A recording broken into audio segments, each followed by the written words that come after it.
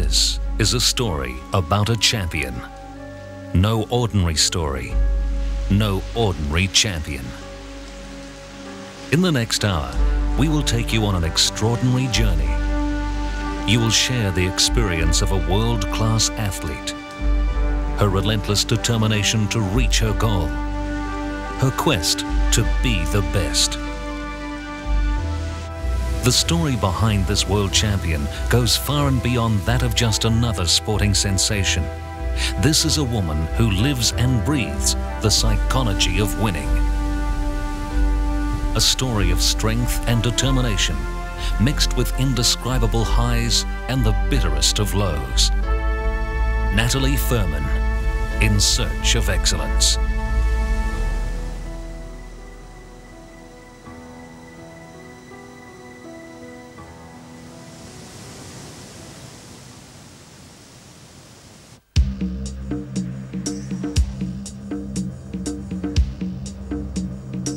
Was really sick back in the beginning of this year. I had uh, some sort of virus that uh, no one really put a name to. After three weeks of lying in bed, I made the decision to definitely, yes, go for this world title. I don't ever get sick. I can't remember in the last five years taking time off because I was sick. And I thought, God, what am I doing wasting time giving up wave skiing when there's a major title to be won. And uh, I'm young enough to do it. And I can do it, so why not? It's now about five weeks until the world titles. And um, that's not long. In, on the grand scale of things, that's not long at all. We had a bit of a bad incident at the last world titles in Queensland where the South Africans got kicked out of the competition. It's still really hard to say how disappointing that was. There's no room for politics in sport. That has probably left a bit of a bad taste in some of the South Africans' mouths. It's, it was really unfortunate. I was affected in the women's. I'm the world individual invitational female champion. In my mind, I'm world champion because I beat everyone there was to beat there. So there's another reason that I want to be back there. I want to say, hey, this time it's on your turf, and there shouldn't be any political worries. And uh, let's do it properly. Yuck! A lot of things motivate me. Previous success motivates me to want to go and do it again, or better, or harder, or faster, or more. As far as training goes, jogging with friends or getting out there with friends keeps me motivated. Inactivity motivates me, seeing inactivity. It's funny how people come up to you sometimes and say, you're going to surf while it's raining? So, yeah, well, I'm going to get wet anyway. The path which has taken Natalee to number one in the world has involved a lot more than the effort of physical training. It is a combination of commitment, natural talent, and above all else, mental discipline that has shaped Natalee's character into that of a champion.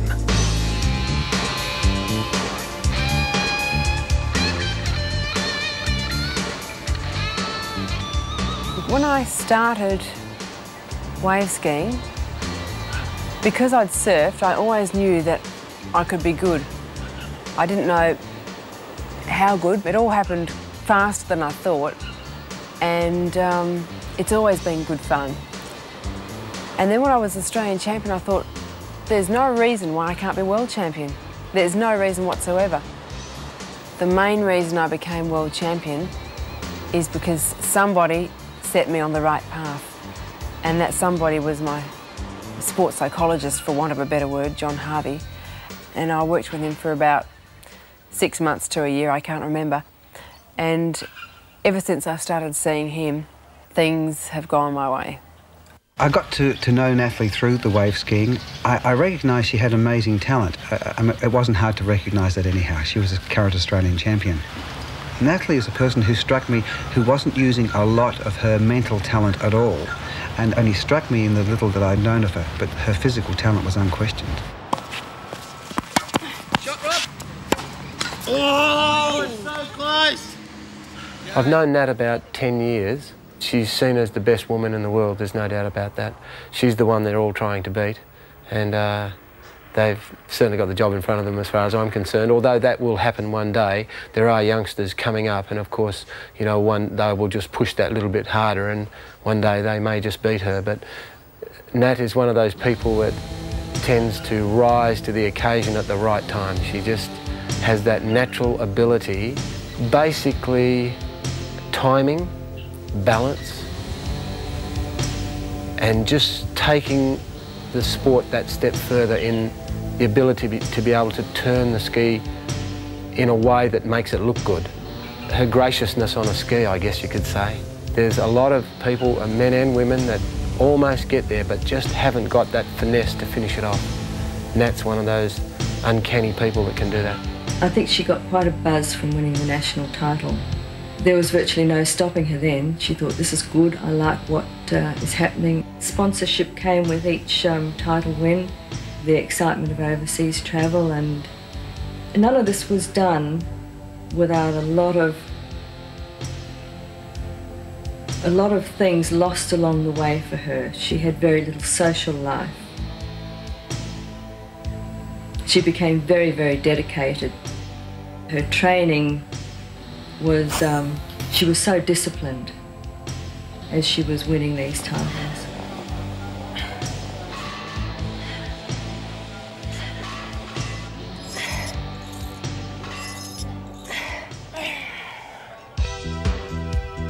Have to program yourself to win. I mean, I used to train really hard, three hours a day. All I thought you had to do to win a world title was to put in the supreme effort on the wave ski and with your, your physical training and you'd win it. But that's the wrong type of programming. I've since learnt that there's, there's so much involved. The exercising and, and training is the easy part. That's the stuff you set your alarm for, you get up in the morning, you, you do your training to prepare your body. That's the easy stuff. You've got to obviously watch your diet as well. You've got to get the right amount of sleep, that's very, very important. And the main thing is the mental rehearsal. That's where the effort goes.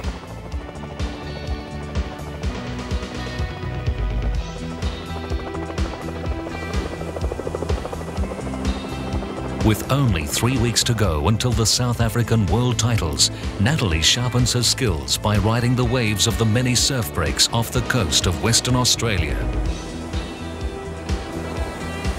It is impossible to predict the surf conditions that will prevail in South Africa.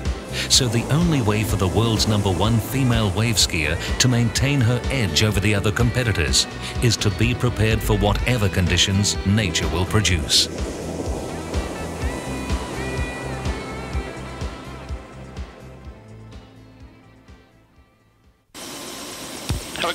Helicopter Kilo Yankee, this is approach. clear for takeoff.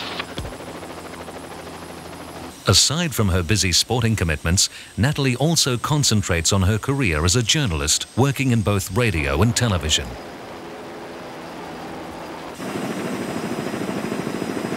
And at 21 to 4, Natalee Fuhrmann's just called in with the surf report. How's it looking today, Nat? Well, we've got something we haven't seen for a while, Bill. A sea breeze wafting through from the southwest, or four to six knots of it. And at that strength, as you can imagine, there's no major damage, but at the same time, most of which is unrideable. But I'm stoked with the way my career's going. It's exactly where I want it to be going. It's got to fit in with wave skiing at this stage, and it does. So what more can I ask for? Australia seems to forget their golden people, and people that are world champions, they put a lot of effort and time and many years of training and uh, job sacrifice into achieve that single objective. With Natalee, at this stage, she's won three world championships and now going for an unequal fourth world championship. Now, in anybody's language, internationally, she is a hero or heroine. She is at the top of her sport. And if you want to do something, she often says, just go for it. And that's the message that comes across from Natalee Fuhrmann. Not just a person that busts themselves to the boiler point, stresses out to achieve a goal and then collapses. Hers is an ongoing goal in life. Natalee was always a, a fairly gentle person. She had a lovely personality, but there was something missing. There was a killer instinct that she didn't have. So it wasn't until John Harvey came into her life she really, really became focused, committed, and dedicated. Overnight, she went from, well, if I win this title, that's great. If I don't, okay, to this title is won. I've got it, it's mine. He was a cancer sufferer. And when an achiever gets told that they've got a, a potentially fatal illness, um, obviously it's, it, it's um, a real shock to the system. And he thought about his options, chemotherapy, all sorts of medical, clinical type cures, or using the mind to heal the problem. And he chose the latter option. He overcame his cancer. The doctors gave him a few years to live and he's outlived that estimate by you know, a decade or so. Uh, he used his mind to cure himself. The stuff I've learnt from him, I've applied to wave skiing, but seen, also seen the big picture that you can use the rules, the principles, the ideas across life. I never wanted to get 51% in an exam at school. I wanted to do as best I could. And if it was 61, then so be it. But I just, I still wanted to do as best I could. With less than a week until Natalee leaves for South Africa, she has chosen to fly to the island of Bali, the home of her sports psychologist, John Harvey. Here, Natalie will use the remaining time to fine-tune herself mentally and physically in an environment removed from the distractions of her busy life at home in Australia.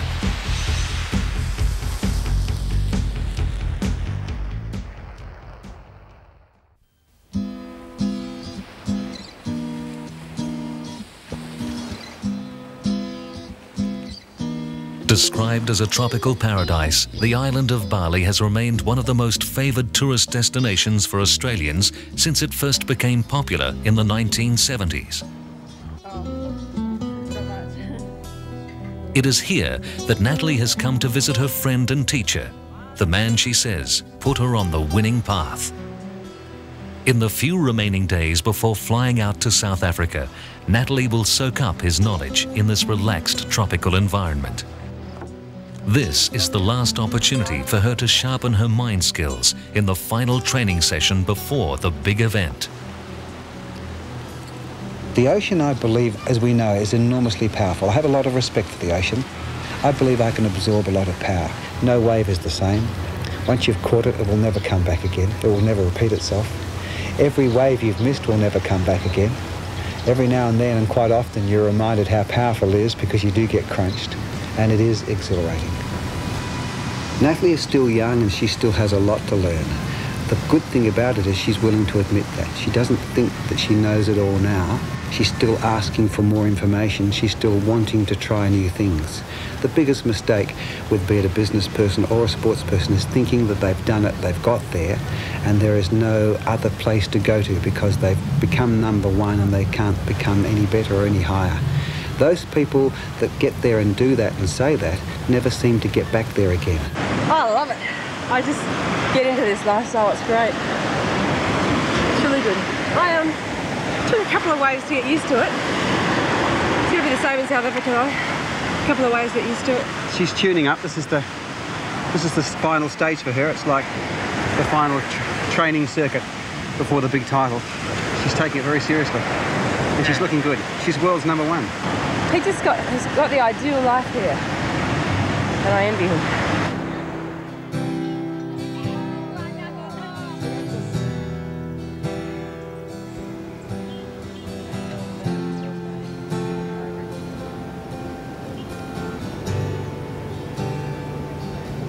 Rich man, Kaya, rich man. You.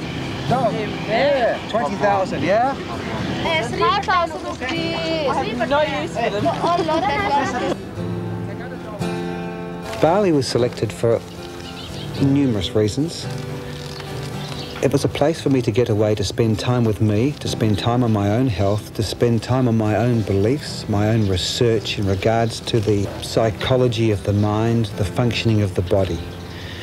Bali, because it has uniform weather, the weather is fantastic all year round.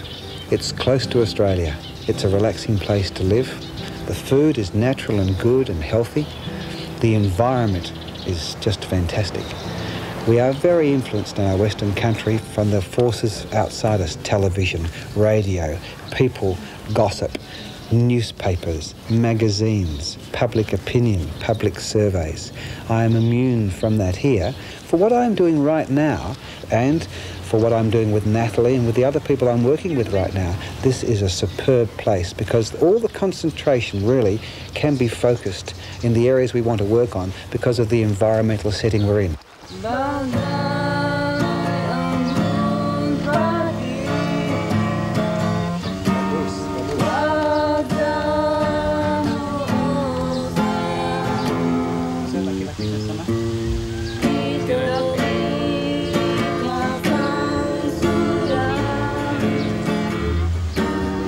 Do what you want to do and don't feel ever it's impossible. Too many people say, I'd love to do that, but don't be a person who says, I'm gonna, I could have, I wanna. Go out and do it. Set up the goals that you want and go for them. And don't have the money as the objective. We're in charge of our own destiny. What do you want out of life? How many people really know? Be in search for excellence. And if you do that, I believe you'll always have the riches of life. And you really feel worthwhile. You really know I am the best.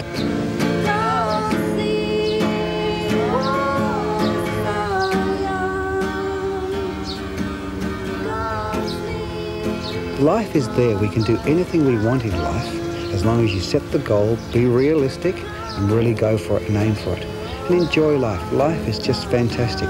I've always said to people, write out your goals for life. What do you want? And then work out how you're going to do it.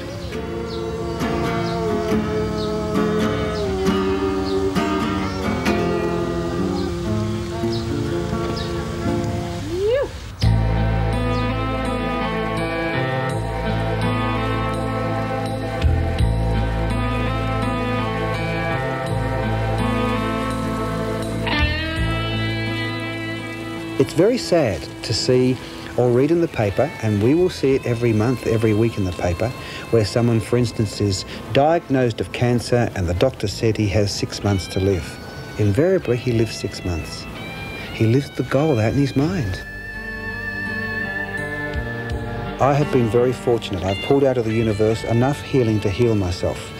In 1985, I was given 14 months. Eight years later, I'm healthier now than I have ever been. When I look back at the lifestyle I was leading, which in business was go, go, go, it was no wonder I got sick. But it's a shame we have to have such a shocking life to suddenly review our lives and set them up so we live a life that is just so enjoyable, you never want it to end.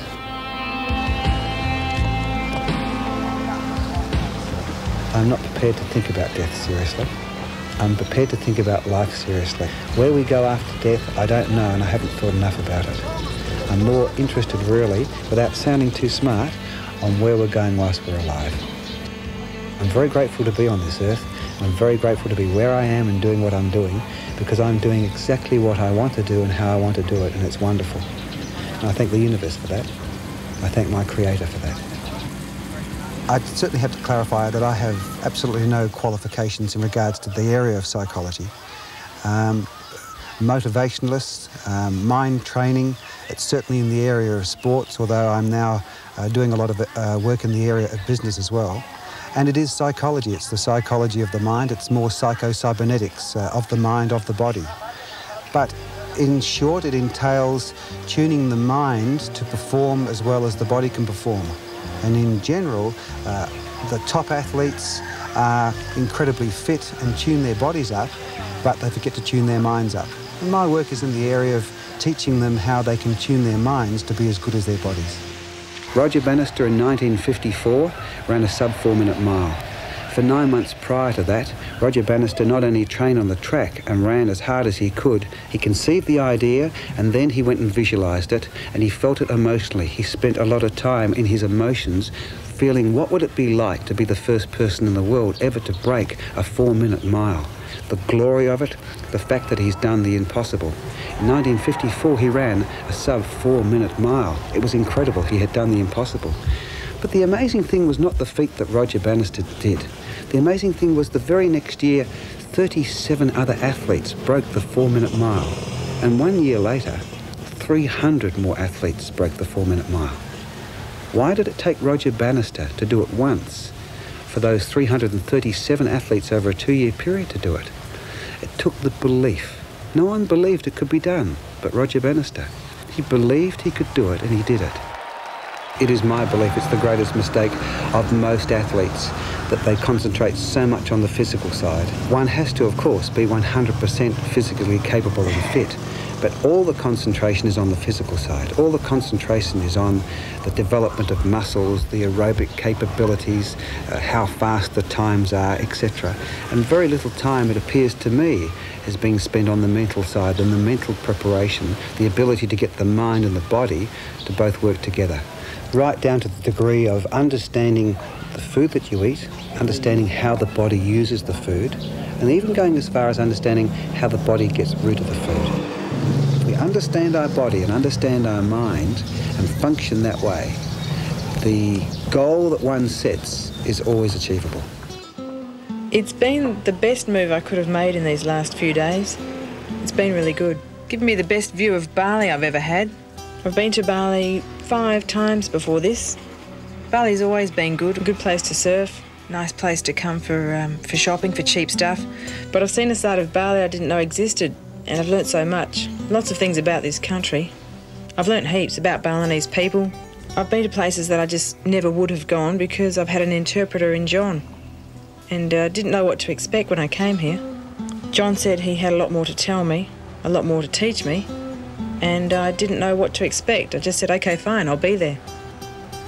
Words like relaxing and peacefulness come to mind. All that. I'm just ready. I'm ready to go. Smile now, that's it. Together. well done.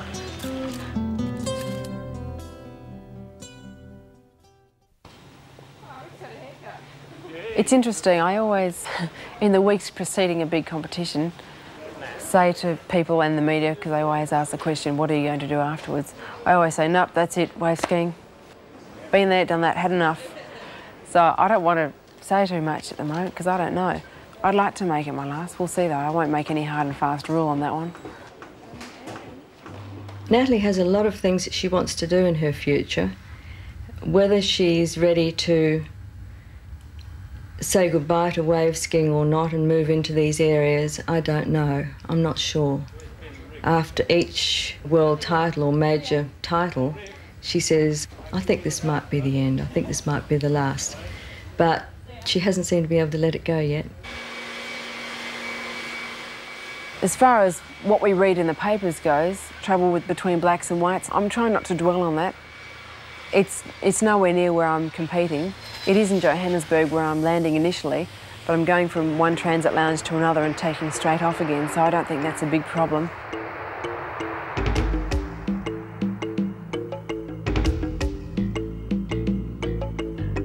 Africa, home to the world's most spectacular wildlife. Continent of untamed wilderness.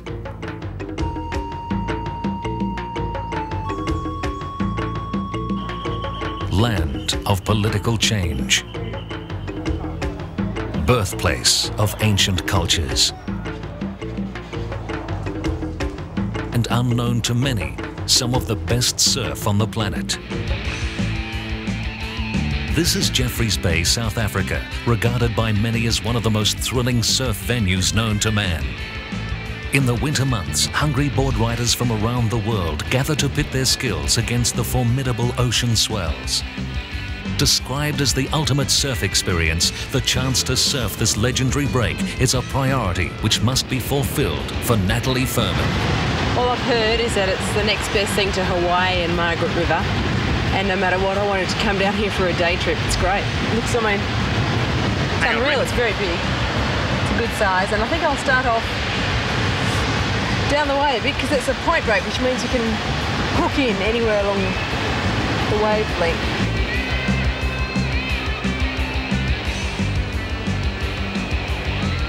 BRFM, the 4 to 6 mix. And in front of that, um, Chris Isaak, Blue Hotel. Nice one.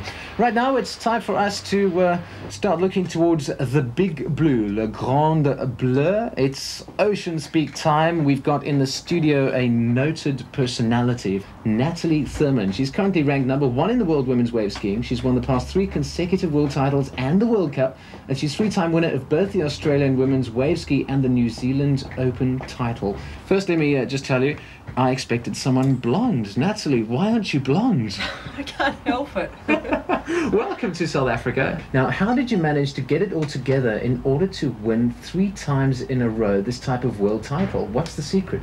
Well, firstly, I haven't won three world titles. I've won a couple of World Cups and the World Individual Invitational title, which is what the world title became last time in Queensland. And uh, you were expecting to make it uh, your day when it ti- when the time comes to actually give away that final prize on the last Sunday of the competition? Well, I'm not here to get second, that's for sure.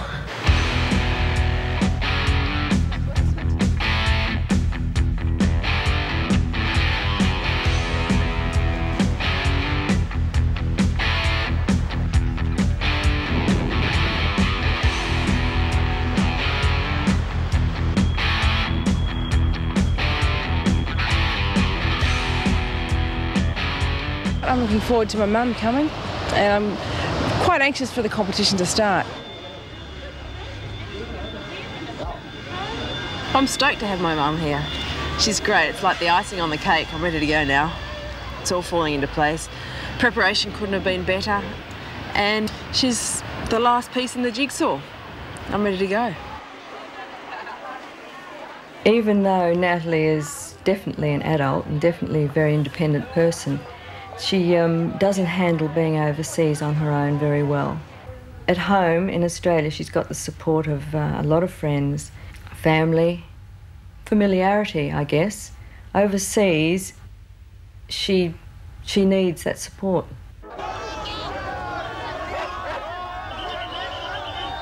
With the tense political situation just prior to the first multiracial elections in South Africa's history, Natalee finds the streets of East London very different to the secure lifestyle she is used to at home in Australia. Three years ago, when the state president announced that we'll be mo moving away from the apartheid system, uh, we certainly have come a long way. And while the country is, shall we say, in in a state of turmoil as far as security goes at the moment, uh, I believe that this is a transitional phase that we're experiencing. And once we have a government of national unity, I believe that the potential for pr prosperity and growth is there. It's a tremendous honor to have Natalee in East London with us, competing in this championship. And so obviously we would like to make her stay as comfortable as possible and as pleasant as possible so that hopefully you would want to come back uh, on a holiday in the near future. One final surprise. Unknown to Natalee, John Harvey has flown in from Bali just prior to the competition beginning. After Bali, when Nat came to Bali, and after you all left, when uh, when she spent three days, and we did some very good work, um, physical and uh, and mental work for her preparation for the world title. I suddenly realised I, I really needed to go. I needed to go and be there to experience that last week with her, to obviously help her as best as I could, and to really get the enjoyment and the satisfaction myself as well. So it was double sided. I've gone to South Africa for her and also for me. Oh my god! oh my god! Hi. Hi! what are you doing here? Hello, world. Everything is now in place for this champion to excel at her chosen sport. The World Wave Ski Surfing titles begin tomorrow. Let something be private.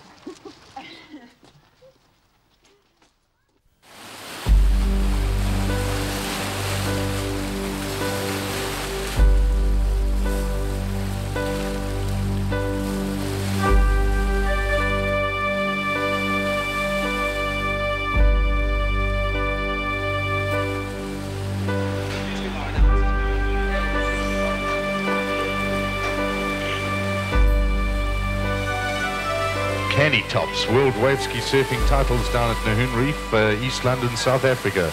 About to enter the water now. We've got Natalee Fuhrmann, who's a journalist from Australia. She's been wave ski surfing for eight years. She's from Trigg in Western Australia and puts in 15 hours of training a week, putting really putting in a lot into wave ski surfing. And she's riding or surfing on a Shane wave ski, and she's also currently number one in Australia. There'll be three ladies in this heat, and remember, only two will go through to the next round. So a big one, you can sit back, all of those of you down at the beach, take, uh, take a seat right on the front, uh, front lineup, and uh, we're going to see plenty of action here from the ladies.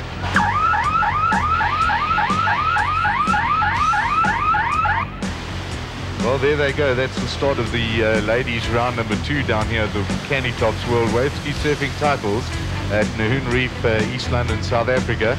And in the back lineup now, we've got Natalee Fuhrmann, and looks like she's picked up the first wave in the heat and up and riding now. Natalee Fuhrmann, current Australian champion. She's picked up a big one. Looks like a good wave she's picked up. Natalee using uh, the white water now to try and score maximum points on that wave. And behind her, Lisa Ryan.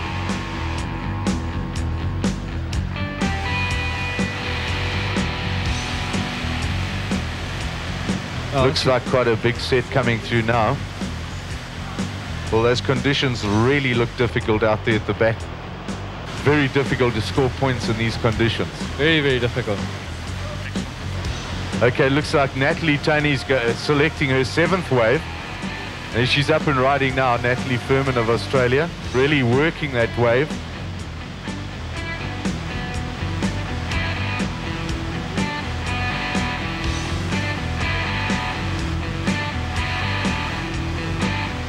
So good heat there, very closely contested between Sandra Elston, Caroline Wood of South Africa, and Natalee Fuhrmann of Australia. Australia. We'll wait, have to wait to see how the judges saw that, but well, uh, I don't well, envy them. No, it was going to be a difficult one, Alan.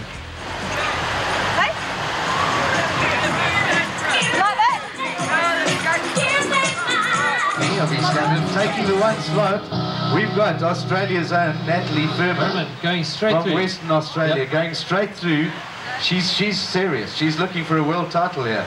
We're going to see a good ladies event out here at Nahoon Reef in South Africa. And I think well that's, done. That's probably got something to do with the fact that she's been in the water the last couple of days. So yeah. she's taken advantage of the local conditions and she's done She's got well. used to conditions. She's prepared, taking it very seriously, and uh, we'll see her up there, I'm sure, in the final.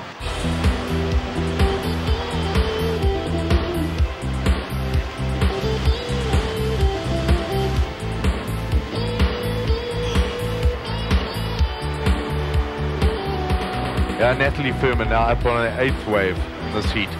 Oh, she's unfortunately tried to pull it off the top and just lost it there. Yeah. There's still sets coming in from behind. And here it is in third place, Natalee Fuhrmann. In second place, Caroline Wood. And taking the top slot to a big upset in this heat, Sandra Elson, Port Elizabeth, South Africa. Well done, Sandra. You haven't been stopped. The easy road's been taken away. It's not bitumen now, there's a bit of gravel to go on. So to hell with it. Let's be happy with what we've got. What we've got to do is we've got to learn to smile and we've got to learn to say, well, I like to do it the hard way. We want to be the eternal optimist because we've got no choice, you see. So let's tell ourselves, well, we like it this way. This is what we want. Because we can sit here and say we don't want it this way. But guess what? It doesn't change. We've still got to go and surf a losers round tomorrow. This is the third last day now of competition and I've got to compete this morning, and you can't compete with the seas back, so you have to stretch. But this morning I felt so tight, I had to get loosened up before I even stretched. Now it's feeling not too bad. It's feeling 70% there, but it's a slow degeneration from here on in. Oh, this is a, well, this is a problem because it's got so much weight on the back of the ski. There's possibly three or four kilos of water in the back of this, and as you know, we're keeping Nat out of the room, but she's got a problem here. This ski's weighing, weighing twice as much as it should have because of this uh, ding she's got in it and the water's got in without her knowing. So this is the rush, you know. It's less than two hours before a heat and we've got to get this water out and the only way we can get it out is suck it out. And I'm telling you, it's not an easy job, nor is it a nice one.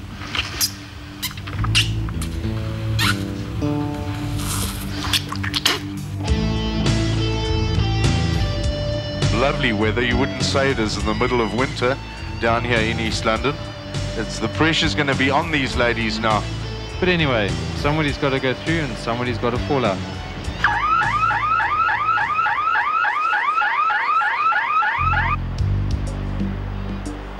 A lot of the top top competitors have, through one or two unfortunate heats, found themselves in the losers section. We've seen the same thing happen in the um, the ladies now with Natalee falling into the losers. Yeah. And hopefully she can work her way right the way through. She'll be pulling out. She'll be putting everything into this one.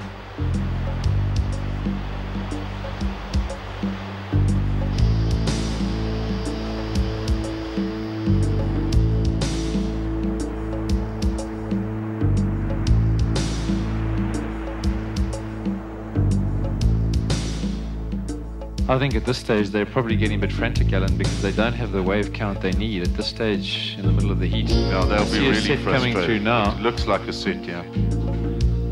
Looks like a bit of a... Nah. Still nothing.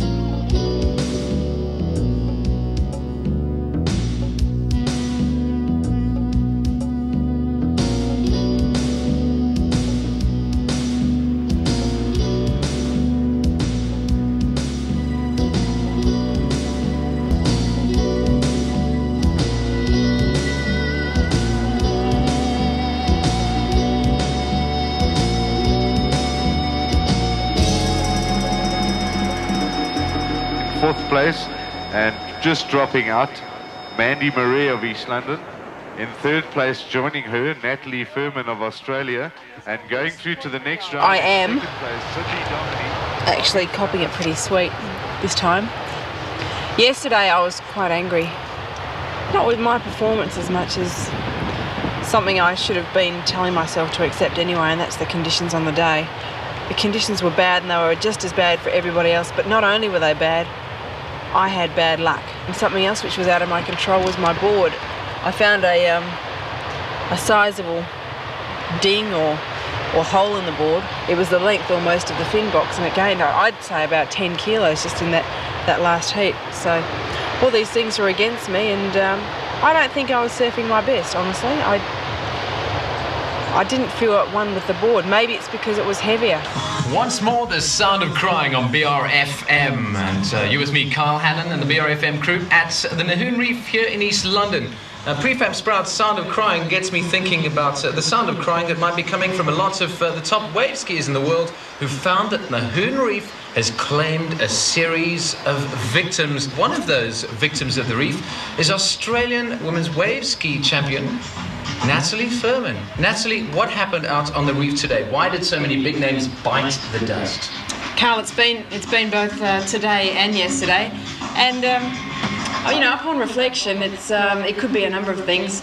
I was here a week early to try and suss out the break, but um, it obviously wasn't long enough. I personally found it quite hard to to, um, to work out exactly how it breaks and, and where it it um, peaks up best and where it dies and especially today and yesterday where conditions are just so fluky. Plus, again, with me, I had a board that was gaining water at the rate of about 10 kilos every 20 minutes. So you were bailing as fast as you were paddling. exactly. But it wasn't all disappointment for Natalee and the other Australian competitors. The final result first in the women's, Lisa Ryan of Newcastle, New South Wales. In the men's open division, also from New South Wales, Australian wave ski legend John Christensen. Australian athletes prove once again, without doubt, they are equal to the best in the world.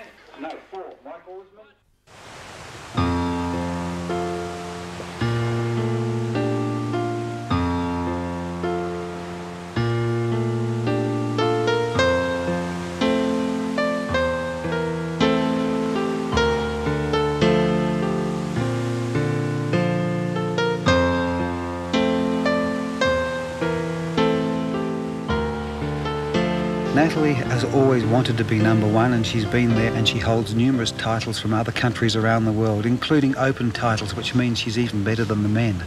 She wanted a world title here in South Africa more than anything because it was a sanctioned event, it was a true world title. This is a target correction for Natalee. As a true champion, she looks at what she did and what she did wrong. Studies what she could learn from that, so the next time she competes in any event, she knows she'll never make the same mistakes again. On the day, she wasn't good enough in those conditions but she still recognises that she still has the target, the search for excellence, the search for being number one in the world, the best in the world, and she's already setting goals for the future, knowing she's learnt from the past.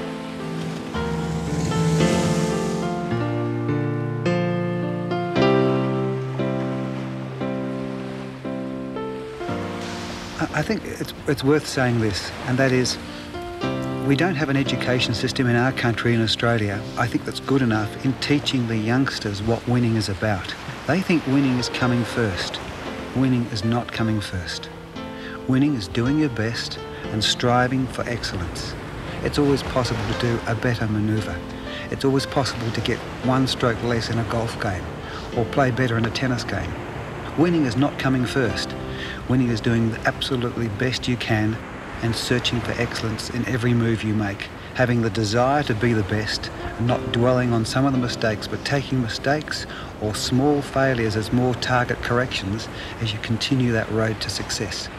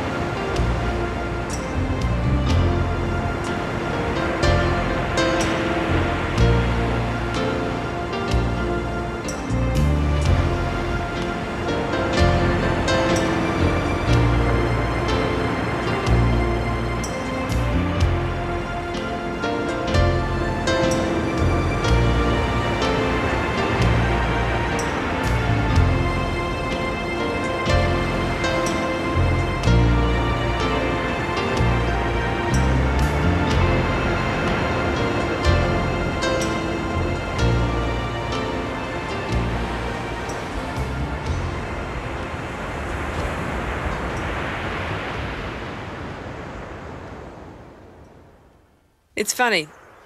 I didn't win, but overall, I'm not disappointed because I went out there and I did the best I could. What's important to me is to keep everything in perspective. Win, lose, or draw the world title, life doesn't stop there. I still wave ski. I was always in it because I love wave skiing. But there's still so much more to do. There's a goal every day, every month, every year. It's just something in me that if I'm going to embark on something, you don't do it in halves. You do it to be the best in it.